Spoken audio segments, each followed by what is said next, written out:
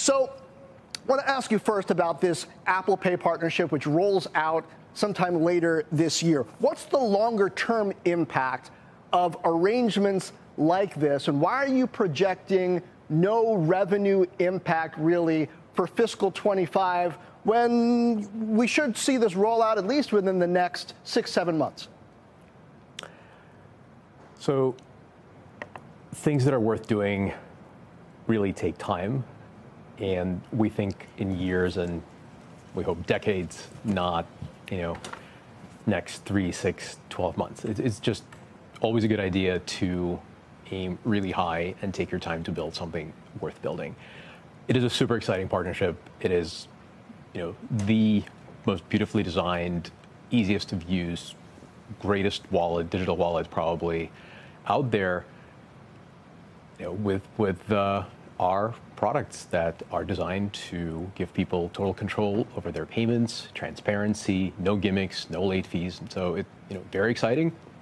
We're just just getting started. Today is just the announcement, you know, not even the launch. Okay, so I want to ask you about Pay in 2 and Pay in 30 in the context of the broader economy and consumer behavior. Because Buy Now, Pay Later is a bit of a black box for a lot of the people who are looking at the, the broader credit picture. And I wonder how much of an impact do you think it's having these more consumer friendly terms that Affirm has, for example, versus these credit card uh, rates that are going up so high? I've seen some up well above 30%. Well, I think that's exactly what we started this company to do to unbundle the credit card, which is a wonderful user interface. It's the best payment user interface ever created, perhaps but it's also completely opaque. You don't know when you're going to be done paying off that swipe, no matter how convenient it is. The idea of Affirm is to be the antidote for any transaction, be it a small 80 to $100 transaction, which is what these Pay in 2 and Pay in 30 things that we just announced are really all about, to pay in 39 months, which is you know something that's a lot more for a multi-thousand dollar workout equipment for your home. Each one of those transactions is separate, and you get total transparency into the cost and a timeline to pay it off. The interest does not compound, so you know exactly how many dollars of interest at most you'll ever pay.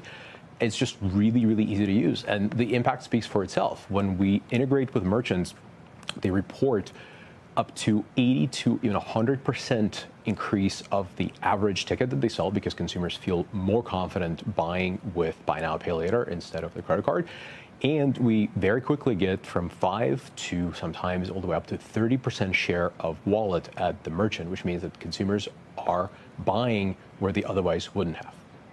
So, Max, it's, it's Morgan. I'm looking at this data here in my notes that you have, Affirm has a dramatically lower delinquency rate than the ones that we're seeing, which are ticking higher for credit cards right now. How much does that speak to your underwriting prowess? How much does it speak to the impact interest rates, high interest rates, are having on consumers right now?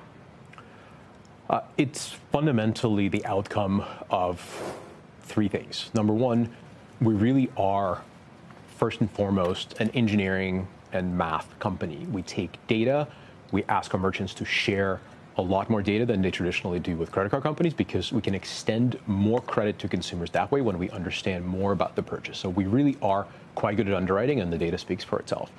Two, each one of the transactions is underwritten separately. And so we know exactly when you or whoever's borrowing is too close to overextending themselves. And we're not afraid to say, hey, this is a really good thing that you have in mind, but we don't think you can afford it you either need to give us some data that tells us we're getting you wrong, we need to re-underwrite you, or perhaps you should take the time to uh, save up a little bit or make a slightly larger down payment, etc.